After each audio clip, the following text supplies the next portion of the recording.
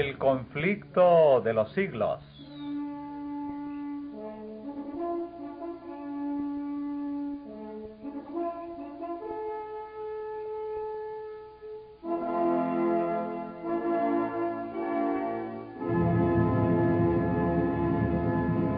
Capítulo 41.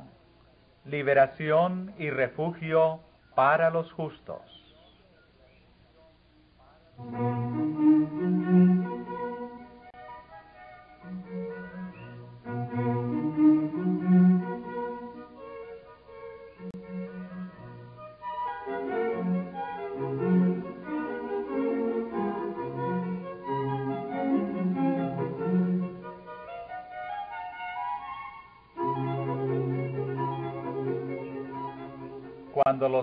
La ley de Dios hayan sido privados de la protección de las leyes humanas, empezará en varios países un movimiento simultáneo para destruirlos.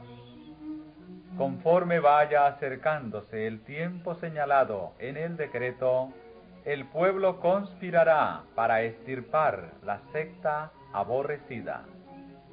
Se convendrá en dar una noche el golpe decisivo, que reducirá completamente al silencio la voz disidente y reprensora.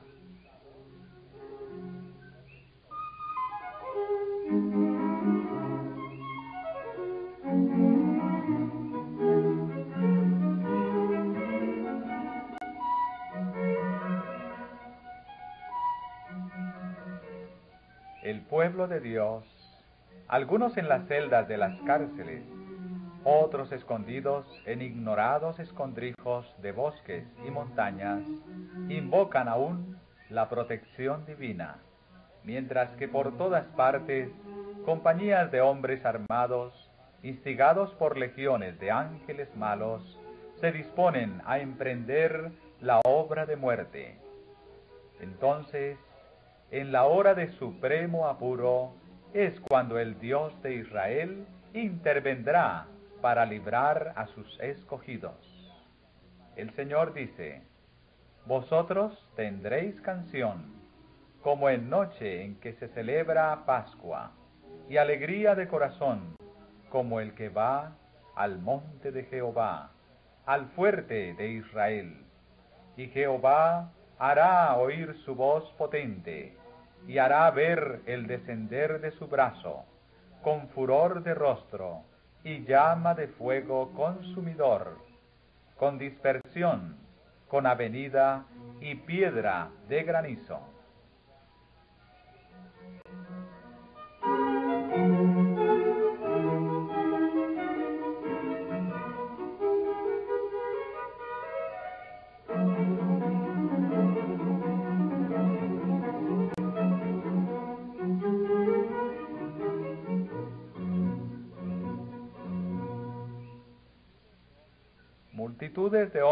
Perversos, profiriendo gritos de triunfo, burlas e imprecaciones, están a punto de arrojarse sobre su presa, cuando de pronto densas tinieblas, más sombrías que la oscuridad de la noche, caen sobre la tierra.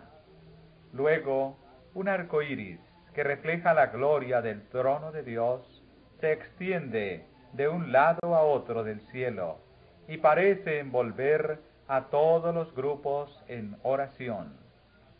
Las multitudes encolerizadas se sienten contenidas en el acto. Sus gritos de burla expiran en sus labios. Olvidan el objeto de su ira sanguinaria. Con terribles presentimientos contemplan el símbolo de la alianza divina y ansían ser amparadas de su deslumbradora claridad.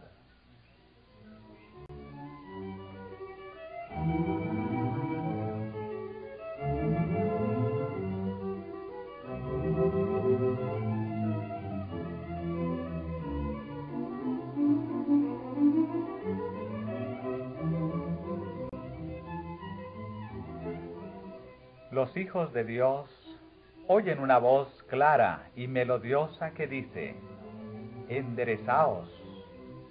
y al levantar la vista al cielo, contemplan el arco de la promesa.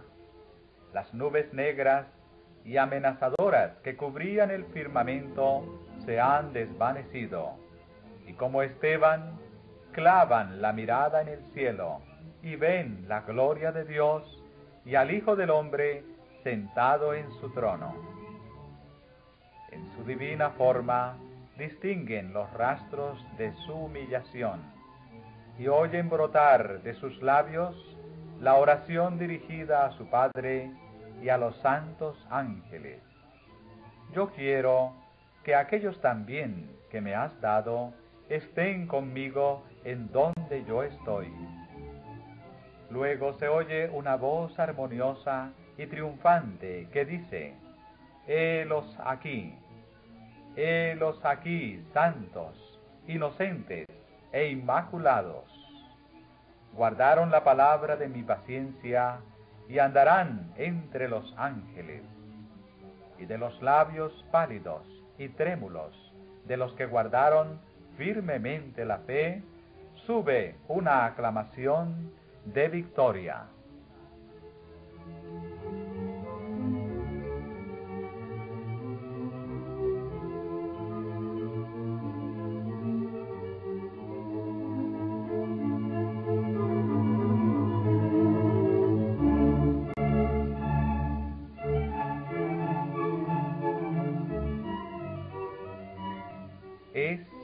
Medianoche, cuando Dios manifiesta su poder para librar a su pueblo, sale el sol en todo su esplendor. Sucédense señales y prodigios con rapidez.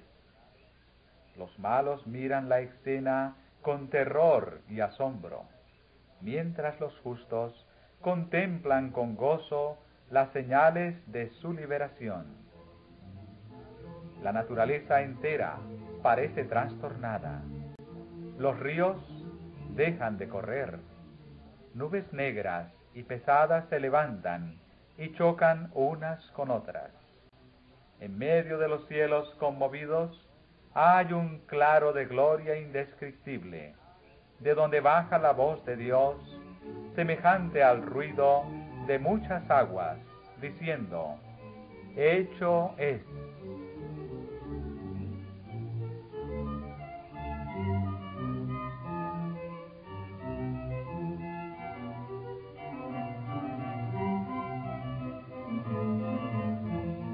Esa misma voz sacude los cielos y la tierra. Síguese un gran terremoto, cual no fue jamás desde que los hombres han estado sobre la tierra. El firmamento parece abrirse y cerrarse. La gloria del trono de Dios parece cruzar la atmósfera. Los montes son movidos como una caña al soplo del viento y las rocas quebrantadas se esparcen por todos lados. Se oye un estruendo como de cercana tempestad. El mar es azotado con furor. Se oye el silbido del huracán, como voz de demonios en misión de destrucción. Toda la tierra se alborota e hincha como las olas del mar su superficie se raja, sus mismos fundamentos parecen ceder, se hunden cordilleras, desaparecen islas habitadas. Los puertos marítimos, que se volvieron como Sodoma por su corrupción, son tragados por las enfurecidas olas.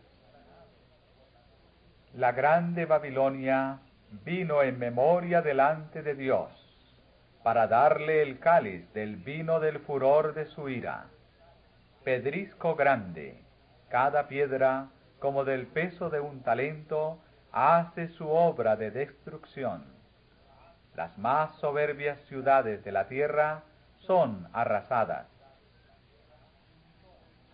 Los palacios suntuosos, en que los magnates han malgastado sus riquezas en provecho de su gloria personal, caen en ruinas ante su vista. Los muros de las cárceles se parten de arriba abajo y son libertados los hijos de Dios que habían sido apresados por su fe.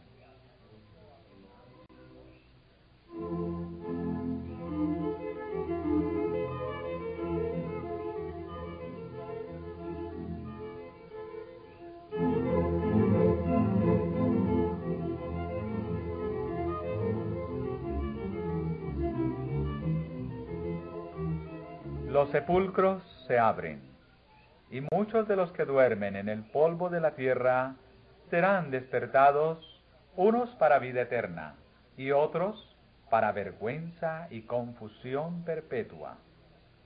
Todos los que murieron en la fe del mensaje del tercer ángel salen glorificados de la tumba para oír el pacto de paz que Dios hace con los que guardaron su ley los que le traspasaron, los que se mofaron y se rieron de la agonía de Cristo, y los enemigos más acérrimos de su verdad y de su pueblo, son resucitados para mirarle en su gloria y para ver el honor con que serán recompensados los fieles y obedientes.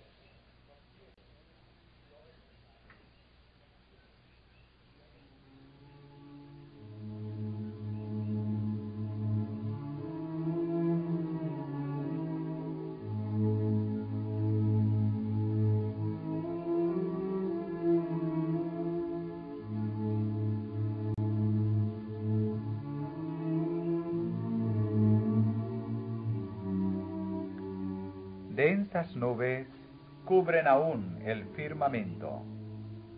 Sin embargo, el sol se abre paso de vez en cuando, como si fuese el ojo vengador de Jehová. Fieros relámpagos rasgan el cielo con fragor, envolviendo a la tierra en claridad de llamaradas.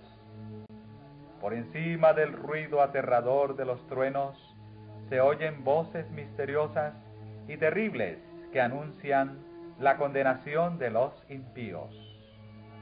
No todos entienden las palabras pronunciadas, pero los falsos maestros las comprenden perfectamente. Los que poco antes eran tan temerarios, jactanciosos y provocativos, y que tanto se alegraban al ensañarse en el pueblo de Dios, observador de sus mandamientos, se sienten presa de consternación y tiemblan de terror. Sus llantos dominan el ruido de los elementos. Los demonios confiesan la divinidad de Cristo y tiemblan ante su poder, mientras que los hombres claman por misericordia y se revuelcan en terror ayecto.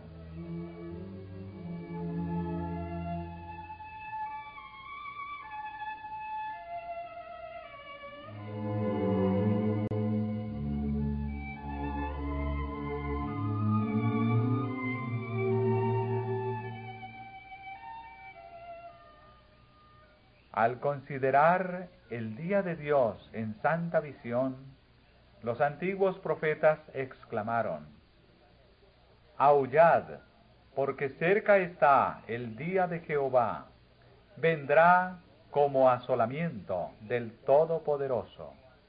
Métete en la piedra, escóndete en el polvo, de la presencia espantosa de Jehová y del resplandor de su majestad.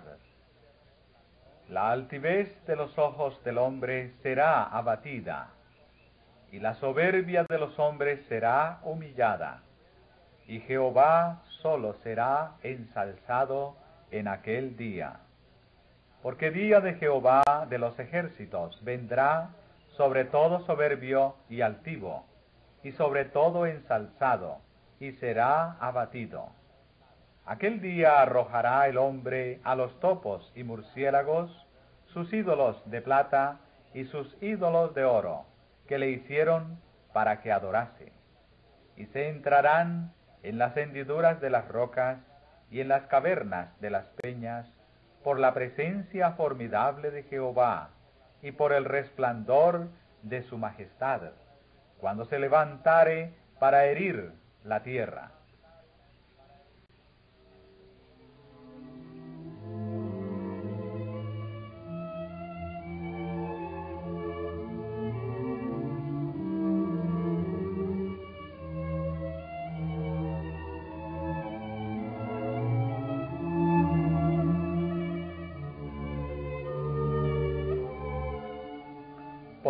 De las nubes, una estrella arroja rayos de luz cuyo brillo queda cuadruplicado por el contraste con la oscuridad. Significa esperanza y júbilo para los fieles, pero severidad para los transgresores de la ley de Dios. Los que todo lo sacrificaron por Cristo están entonces seguros, como escondidos en los pliegues del pabellón de Dios. Fueron probados y ante el mundo y los despreciadores de la verdad demostraron su fidelidad a aquel que murió por ellos. Un cambio maravilloso se ha realizado en aquellos que conservaron su integridad ante la misma muerte. Han sido librados, como por ensalmo, de la sombría y terrible tiranía de los hombres vueltos demonios. Sus semblantes, poco antes tan pálidos, tan llenos de ansiedad y tan macilentos, brillan ahora de admiración, fe y amor. Sus voces se elevan en canto triunfal. Dios es nuestro refugio y fortaleza, socorro muy bien experimentado en las angustias. Por tanto, no temeremos aunque la tierra sea conmovida y aunque las montañas se trasladen al centro de los mares, aunque bramen y se turben sus aguas, aunque tiemblen las montañas a causa de su bravura.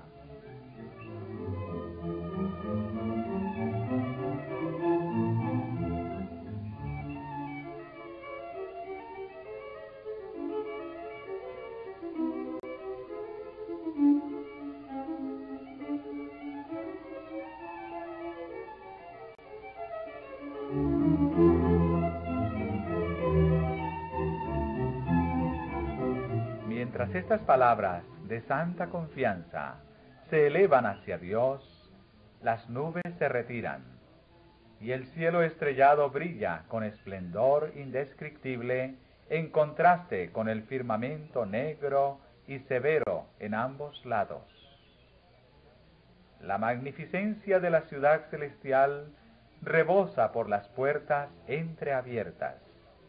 Entonces aparece en el cielo una mano que sostiene dos tablas de piedra puestas una sobre otra. El profeta dice, denunciarán los cielos su justicia, porque Dios es el juez. Esta ley santa, justicia de Dios, que entre truenos y llamas fue proclamada desde el Sinaí como guía de la vida, se revela ahora a los hombres como norma del juicio. La mano abre las tablas en las cuales se ven los preceptos del decálogo inscritos como con letras de fuego. Las palabras son tan distintas que todos pueden leerlas. La memoria se despierta. Las tinieblas de la superstición y de la herejía desaparecen de todos los espíritus y las diez palabras de Dios, breves, inteligibles y llenas de autoridad, se presentan a la vista de todos los habitantes de la tierra.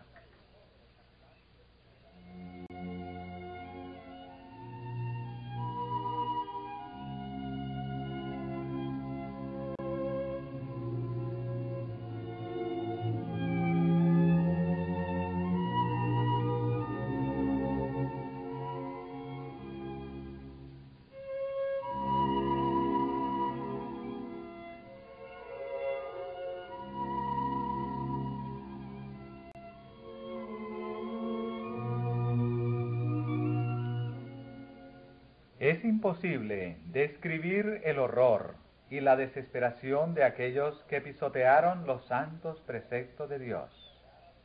El Señor les había dado su ley, con la cual hubieran podido comparar su carácter y ver sus defectos, mientras que había aún oportunidad para arrepentirse y reformarse. Pero con el afán de asegurarse el favor del mundo, pusieron a un lado los preceptos de la ley y enseñaron a otros a transgredirlos. Se empeñaron en obligar al pueblo de Dios a que profanase su sábado.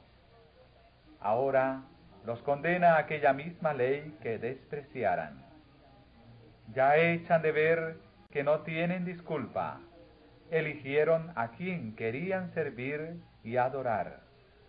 Entonces vosotros volveréis y echaréis de ver la diferencia que hay entre el justo y el injusto, entre aquel que sirve a Dios y aquel que no le sirve.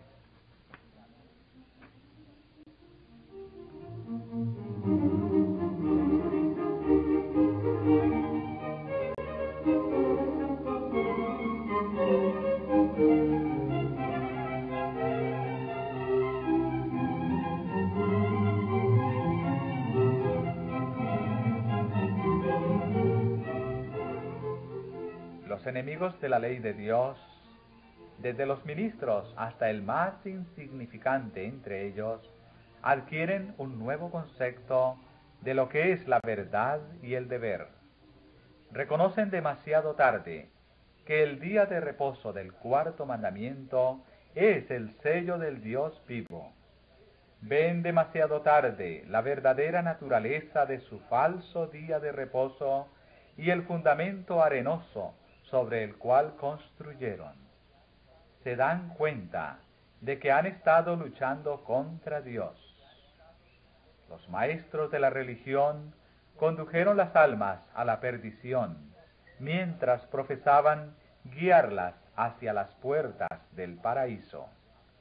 No se sabrá antes del día del juicio final cuán grande es la responsabilidad de los que desempeñan un cargo sagrado y cuán terribles son los resultados de su infidelidad.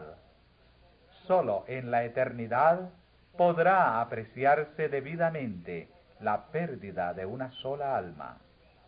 Terrible será la suerte de aquel a quien Dios diga, apártate, mal servidor.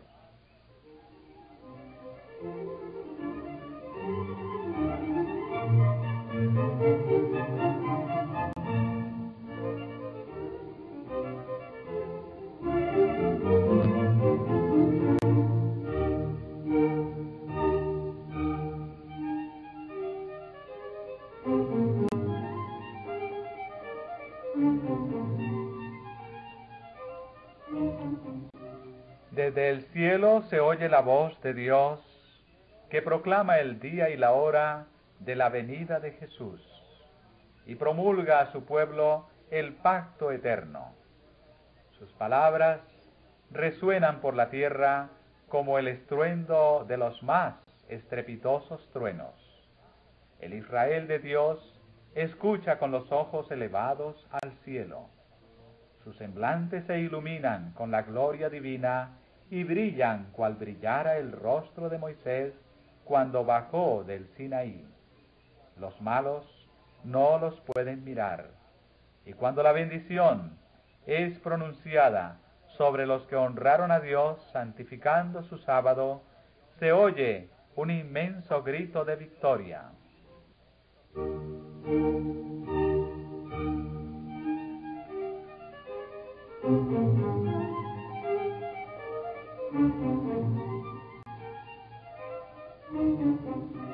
Pronto aparece en el este una pequeña nube negra de un tamaño como la mitad de la palma de la mano. Es la nube que envuelve al Salvador y que a la distancia parece rodeada de oscuridad. El pueblo de Dios sabe que es la señal del Hijo del Hombre. En silencio solemne la contemplan mientras va acercándose a la tierra volviéndose más luminosa y más gloriosa hasta convertirse en una gran nube blanca, cuya base es como fuego consumidor, y sobre ella el arco iris del pacto. Jesús marcha al frente como un gran conquistador. Ya no es varón de dolores, que haya de beber el amargo cáliz de la ignominia y de la maldición. Victorioso en el cielo y en la tierra, viene a juzgar a vivos y a muertos. Fiel y veraz, en justicia juzga y hace guerra. Y los ejércitos que están en el cielo le seguían. Con cantos celestiales, los santos ángeles, en inmensa e innumerable muchedumbre, le acompañan en el descenso. El firmamento parece lleno de formas radiantes, millones de millones y millares de millares.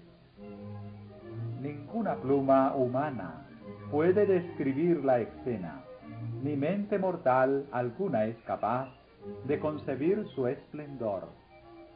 Su gloria cubre los cielos, y la tierra se llena de su alabanza. También su resplandor es como el fuego. A medida que va acercándose la nube viviente, todos los ojos ven al príncipe de la vida. Ninguna corona de espinas hiere ya sus sagradas sienes, ceñidas ahora por gloriosa diadema. Su rostro brilla más que la luz deslumbradora del sol de mediodía, y en su vestidura y en su muslo tiene escrito este nombre, Rey de Reyes y Señor de Señores.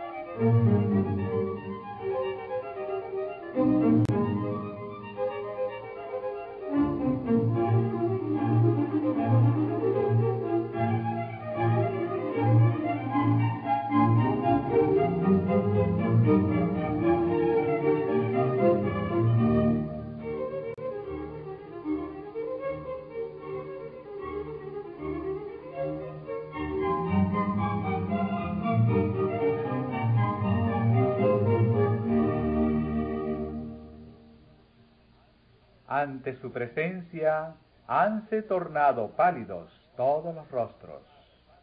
El terror de la desesperación eterna se apodera de los que han rechazado la misericordia de Dios. Se deslíe el corazón y se baten las rodillas y palidece el rostro de todos. Los justos gritan temblando, ¿quién podrá estar firme? Termina el canto de los ángeles y sigue un momento de silencio aterrador. Entonces se oye la voz de Jesús que dice, Bastaos mi gracia. Los rostros de los justos se iluminan y el corazón de todos se llena de gozo. Y los ángeles entonan una melodía más elevada y vuelven a cantar al acercarse aún más a la tierra.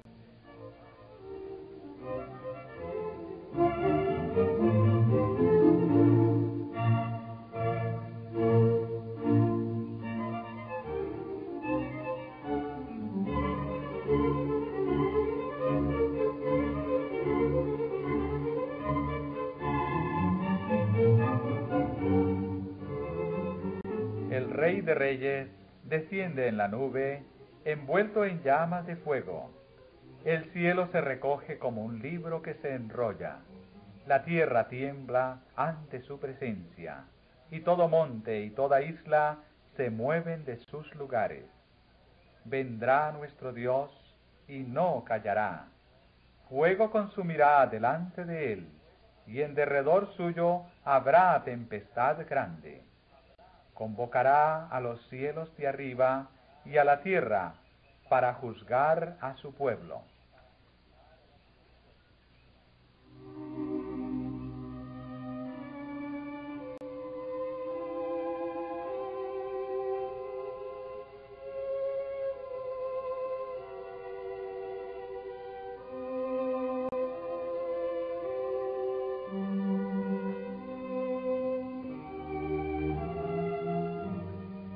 Reyes de la tierra, y los príncipes, y los ricos, y los capitanes, y los fuertes, y todo siervo y libre, se escondieron en las cuevas y entre las peñas de los montes, y decían a los montes y a las peñas, Caed sobre nosotros, y escondednos de la cara de aquel que está sentado sobre el trono, y de la ira del Cordero, porque el gran día de su ira es venido, ¿y quién podrá estar firme?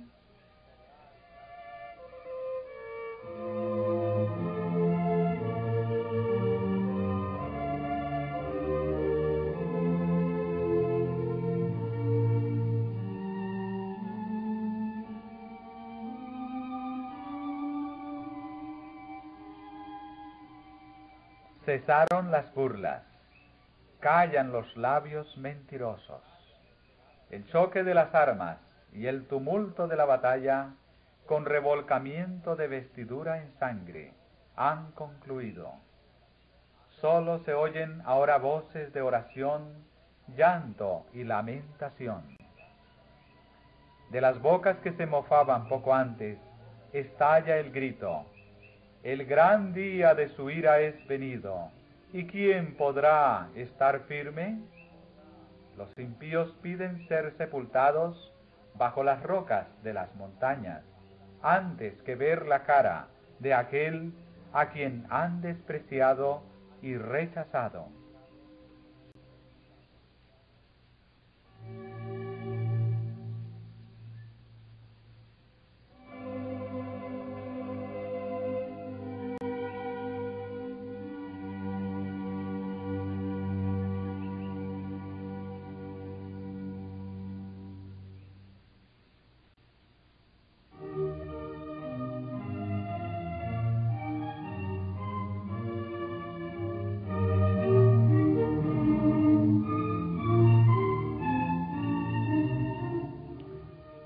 Esa voz que penetra hasta el oído de los muertos.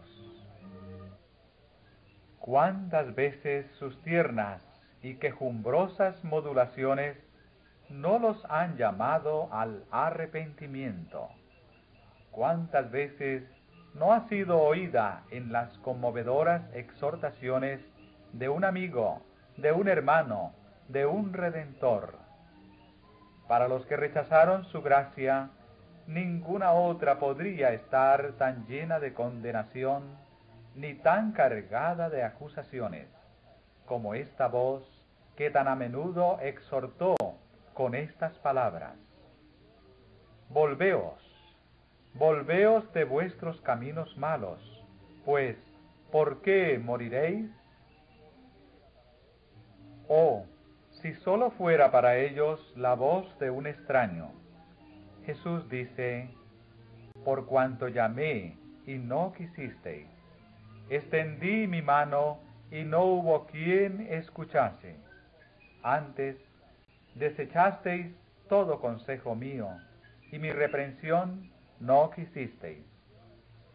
Esa voz despierta recuerdos que ellos quisieran borrar de avisos despreciados, invitaciones rechazadas, privilegios desdeñados.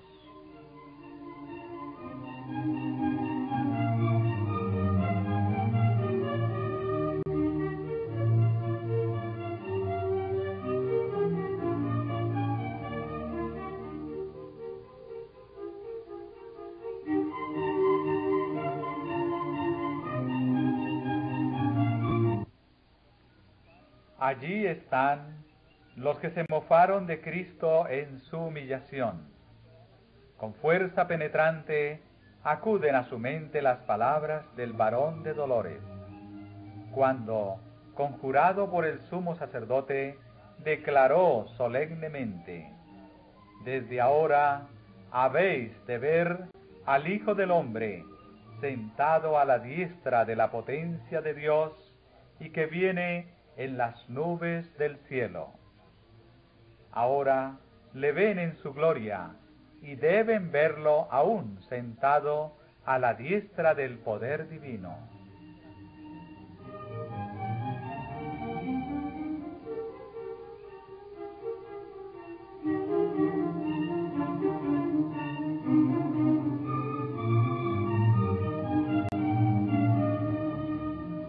Pusieron en ridículo su acerto de ser el Hijo de Dios, enmudecen ahora.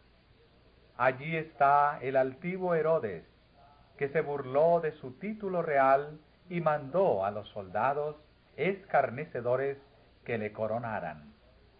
Allí están los hombres mismos que con manos impías pusieron sobre su cuerpo el manto de grana, sobre sus sagradas sienes la corona de espinas y en su dócil mano un cetro burlesco, y se inclinaron ante él con burlas de blasfemia. Los hombres que golpearon y escupieron al príncipe de la vida tratan de evitar ahora su mirada penetrante y de huir de la gloria abrumadora de su presencia. Los que atravesaron con clavos sus manos y sus pies, los soldados que le abrieron el costado, consideran esas señales con terror y remordimiento.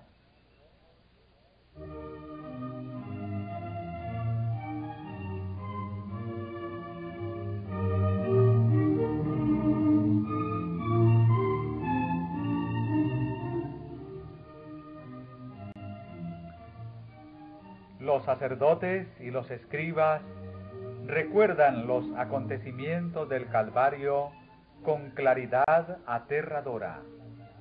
Llenos de horror, recuerdan cómo, moviendo sus cabezas con arrebato satánico, exclamaron, A otro salvó, a sí mismo no puede salvar. Si es el rey de Israel, descienda ahora de la cruz y creeremos en él. Confió en Dios, líbrele ahora si le quiere.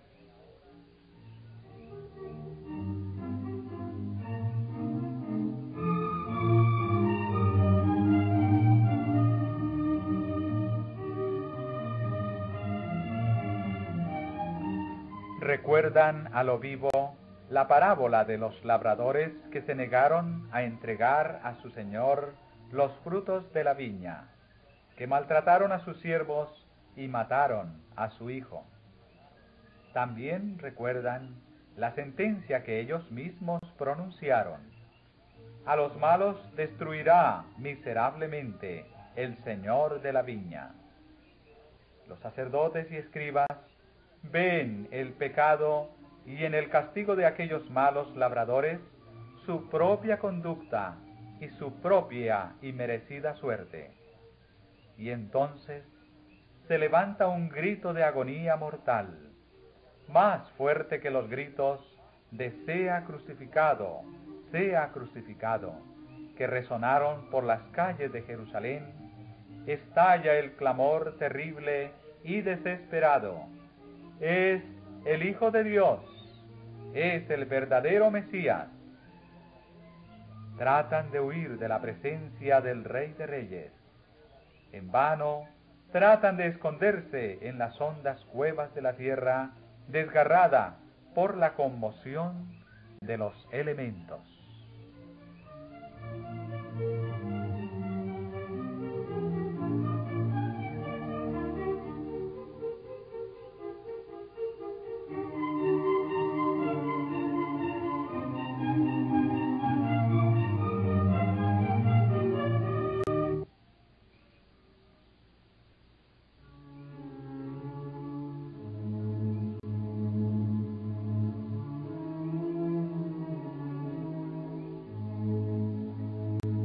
La vida de todos los que rechazan la verdad, hay momentos en que la conciencia se despierta, en que la memoria evoca el recuerdo aterrador de una vida de hipocresía, y el alma se siente atormentada de vanos pesares.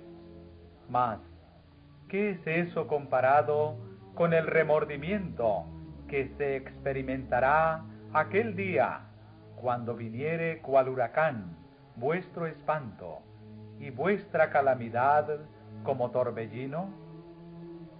Los que habrían querido matar a Cristo y a su pueblo fiel son ahora testigos de la gloria que descansa sobre ellos. En medio de su terror, oyen las voces de los santos que exclaman en unánime júbilo. He aquí, este es nuestro Dios, le hemos esperado y nos salvará.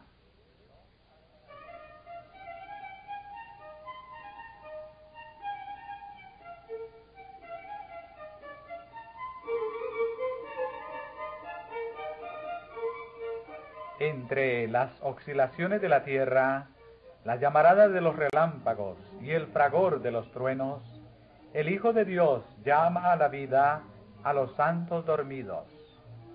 Dirige una mirada a las tumbas de los justos y levantando luego las manos al cielo, exclama, Despertaos, despertaos, despertaos, los que dormís en el polvo, y levantaos. Por toda la superficie de la tierra, los muertos oirán esa voz, y los que la oigan vivirán, y toda la tierra repercutirá bajo las pisadas de la multitud extraordinaria de todas las naciones, tribus, lenguas y pueblos. De la prisión de la muerte sale revestida de gloria inmortal gritando, ¿Dónde está, oh muerte, tu aguijón? ¿Dónde, oh sepulcro, tu victoria? Y los justos vivos unen sus voces a las de los santos resucitados en prolongada y alegre aclamación de victoria.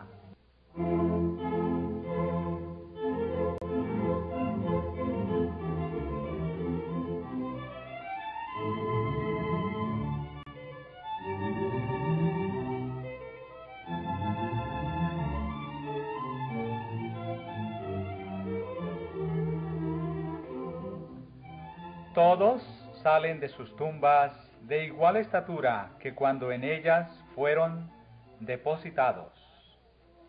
Adán, que se encuentra entre la multitud resucitada, es de soberbia altura y formas majestuosas, de porte poco inferior al del Hijo de Dios. Presenta un contraste notable con los hombres de las generaciones posteriores en este respecto se nota la gran degeneración de la raza humana, pero todos se levantan con la lozanía y el vigor de eterna juventud. Al principio, el hombre fue creado a la semejanza de Dios, no sólo en carácter, sino también en lo que se refiere a la forma y a la fisonomía. El pecado borró e hizo desaparecer casi por completo la imagen divina. Pero Cristo vino a restaurar lo que se había malogrado. Él transformará nuestros cuerpos viles y los hará semejantes a la imagen de su cuerpo glorioso.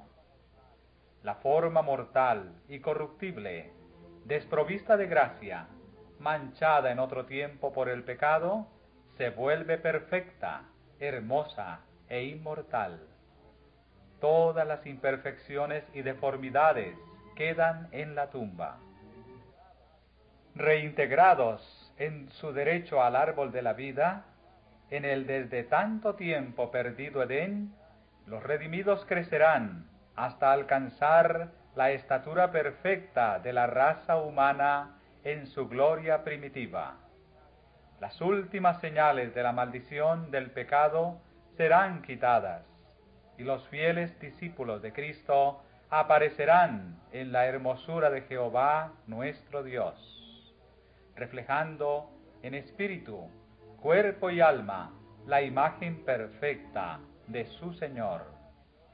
Oh maravillosa redención, tan descrita y tan esperada, contemplada con anticipación febril, pero jamás enteramente comprendida.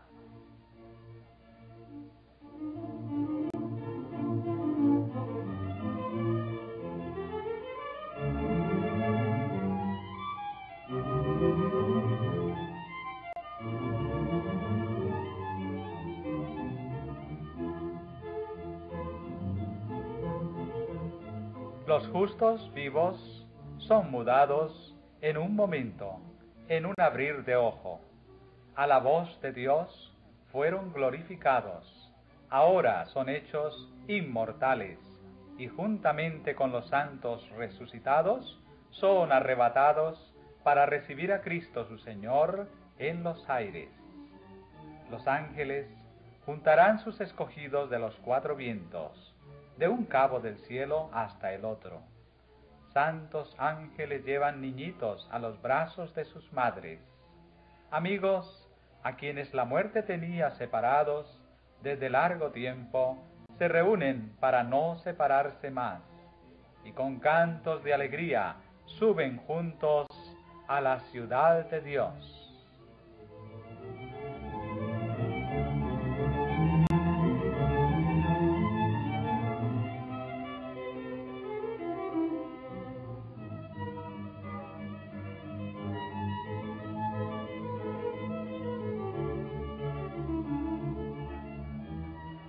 Cada lado del carro nebuloso hay alas y debajo de ellas ruedas vivientes. Y mientras el carro asciende, las ruedas gritan, Santo, y las alas al moverse gritan, Santo, y el cortejo de los ángeles exclama, Santo, Santo, Santo es el Señor Dios, el Todopoderoso. Y los redimidos exclaman, Aleluya, mientras el carro se adelanta hacia la nueva Jerusalén.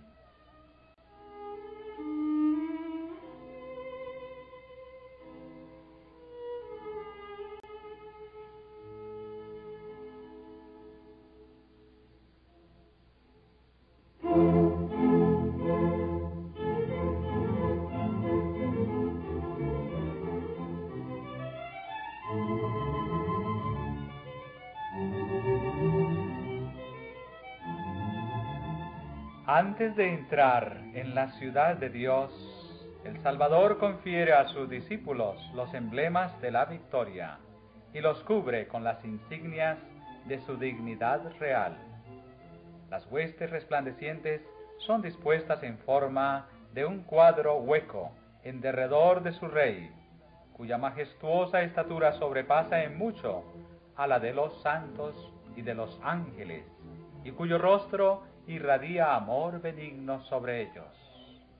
De un cabo a otro de la innumerable hueste de los redimidos, toda mirada está fija en él, todo ojo contempla la gloria de aquel cuyo aspecto fue desfigurado más que el de cualquier hombre y su forma más que la de los hijos de Adán.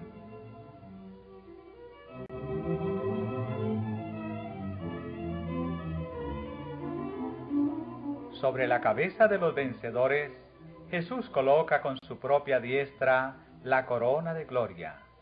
Cada cual recibe una corona que lleva su propio nombre y la inscripción Santidad a Jehová. A todos se les pone en la mano la palma de la victoria y el arpa brillante. Luego que los ángeles que mandan dan la nota, todas las manos tocan con maestría las cuerdas de las arpas, produciendo dulce música en ricos y melodiosos acordes. Dicha indecible estremece todos los corazones, y cada voz se eleva en alabanzas de agradecimiento al que nos amó y nos ha lavado de nuestros pecados con su sangre, y nos ha hecho reyes y sacerdotes para Dios y su Padre. A Él sea gloria e imperio para siempre jamás.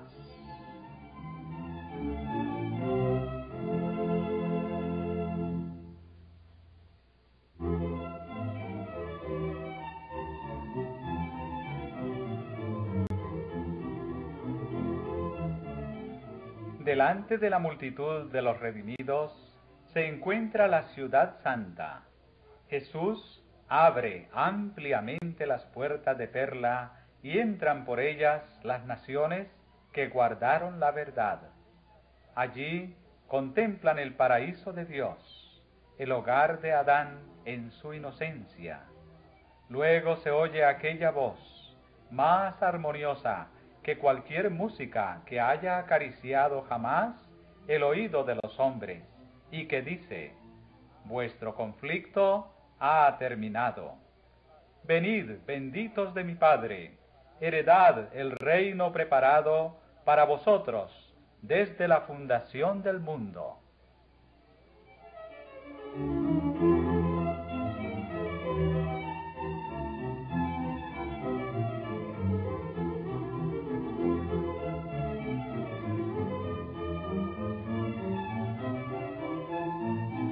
Entonces se cumple la oración del Salvador por sus discípulos. Padre, aquellos que me has dado, quiero que donde yo estoy, ellos estén también conmigo. A aquellos a quienes rescató con su sangre, Cristo los presenta al Padre, delante de su gloria irreprensibles, con grande alegría, diciendo, Heme aquí a mí, y a los hijos que me diste. A los que me diste yo los guardé. Oh maravillas del amor redentor, qué dicha aquella cuando el Padre Eterno, al ver a los redimidos, verán su imagen, ya desterrada la discordia del pecado y sus manchas quitadas, y a lo humano una vez más en armonía con lo divino.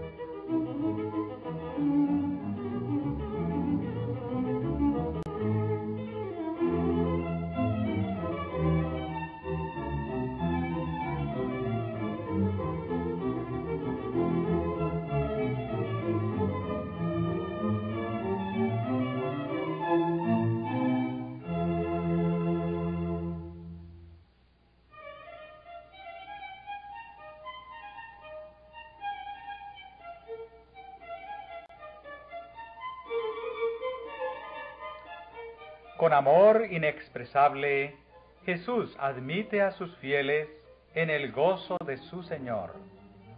El Salvador se regocija al ver en el reino de gloria las almas que fueron salvadas por su agonía y humillación.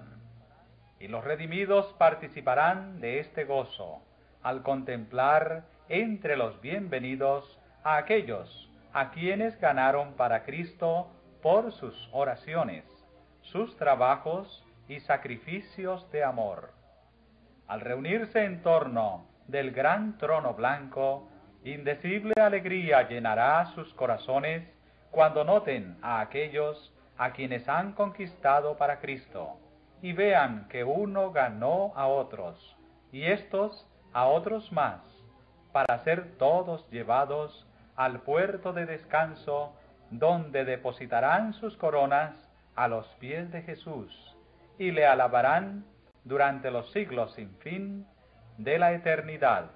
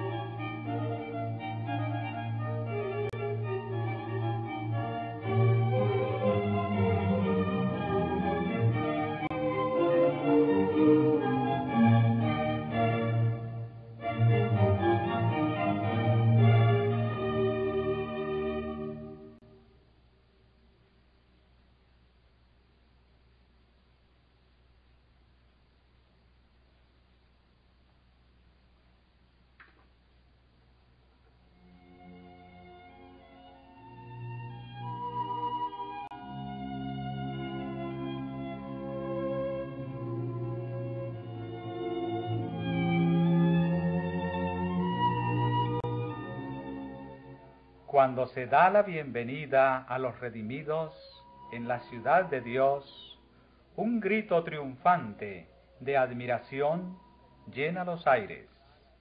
Los dos Adanes están a punto de encontrarse. El Hijo de Dios está en pie con los brazos extendidos para recibir al Padre de nuestra raza, al ser que Él creó, que pecó contra su Hacedor, y por cuyo pecado el Salvador lleva las señales de la crucifixión. Al distinguir Adán las cruentas señales de los clavos, no se echa en los brazos de su Señor, sino que se prosterna humildemente a sus pies, exclamando, Digno, digno es el Cordero que fue inmolado. El Salvador lo levanta con ternura y le invita a contemplar nuevamente la morada edénica, de la cual ha estado desterrado por tanto tiempo.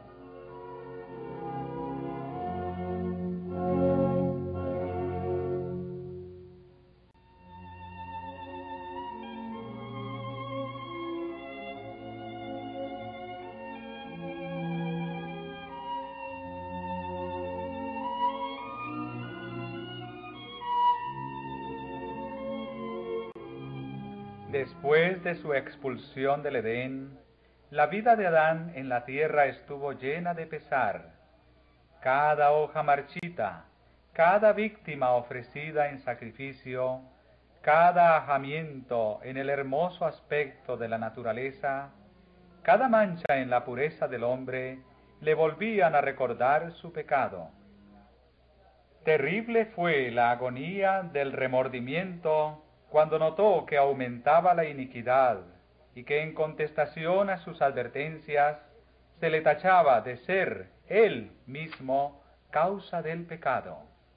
Con paciencia y humildad soportó por cerca de mil años el castigo de su transgresión.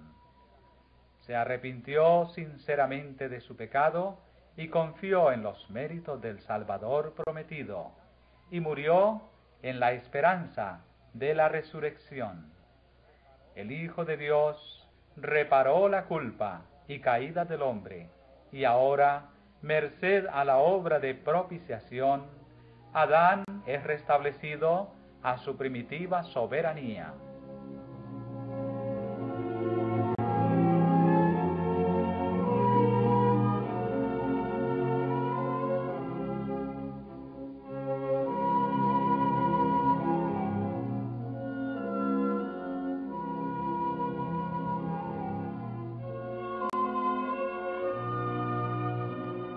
Transportado de dicha, contempla los árboles que hicieron una vez su delicia, los mismos árboles cuyos frutos recogiera en los días de su inocencia y dicha.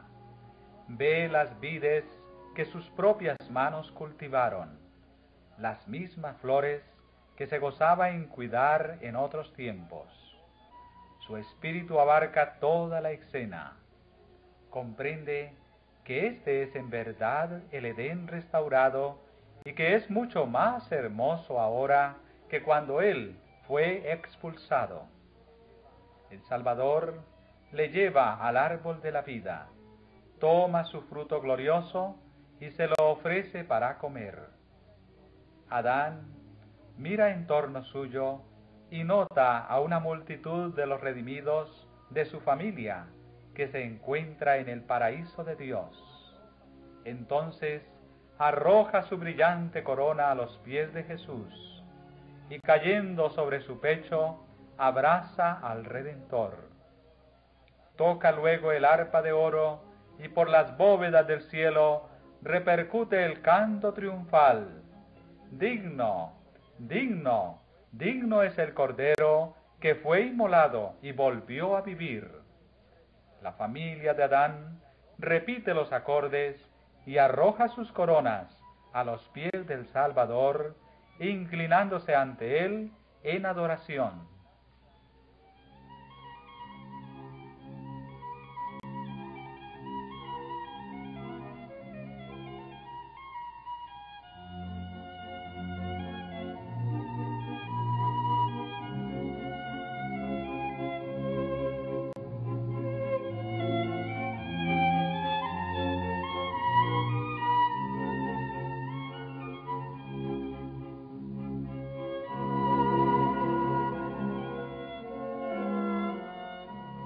Presencian esta reunión los ángeles que lloraron por la caída de Adán y se regocijaron cuando Jesús, una vez resucitado, ascendió al cielo después de haber abierto el sepulcro para todos aquellos que creyesen en su nombre.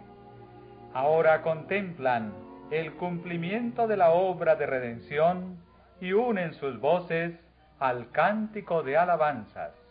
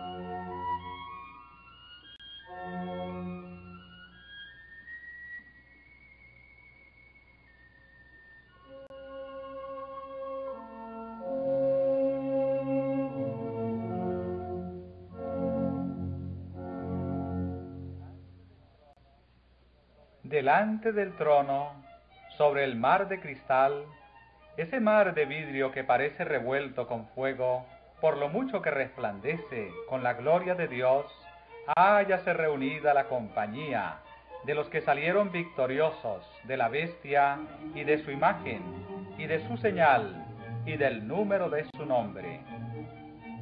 Con el Cordero en el monte de Sión, teniendo las arpas de Dios, están en pie los ciento cuarenta y cuatro mil que fueron redimidos de entre los hombres.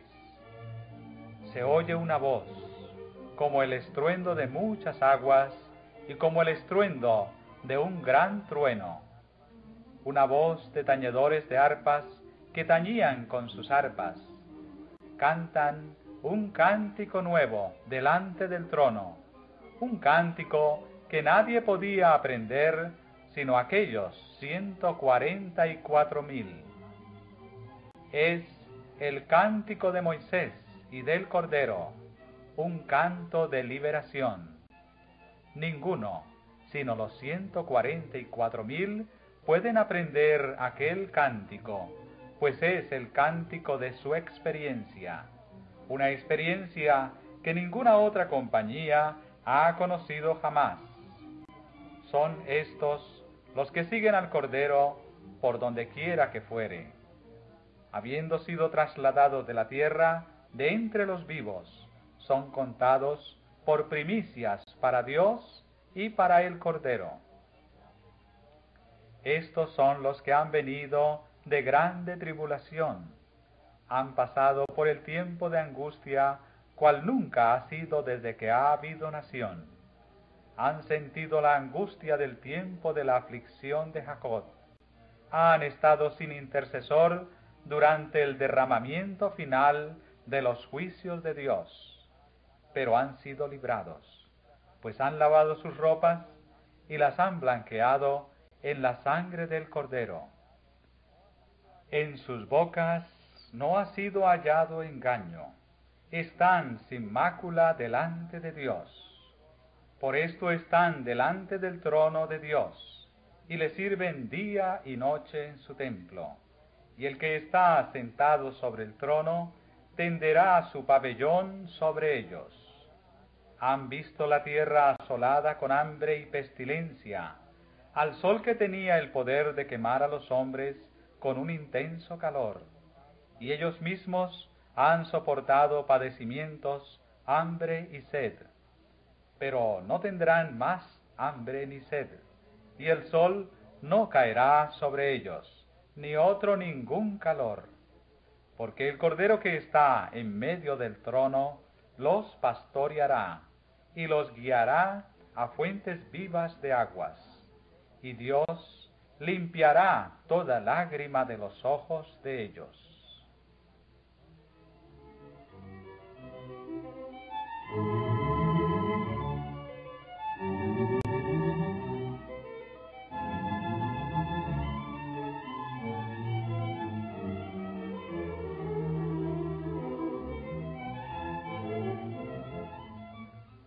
Todo tiempo, los elegidos del Señor fueron educados y disciplinados en la escuela de la prueba. Anduvieron en los senderos angostos de la tierra, fueron purificados en el horno de la aflicción. Por causa de Jesús, sufrieron oposición, odio y calumnias. Le siguieron a través de luchas dolorosas. Se negaron a sí mismos y experimentaron amargos desengaños. Por su propia dolorosa experiencia conocieron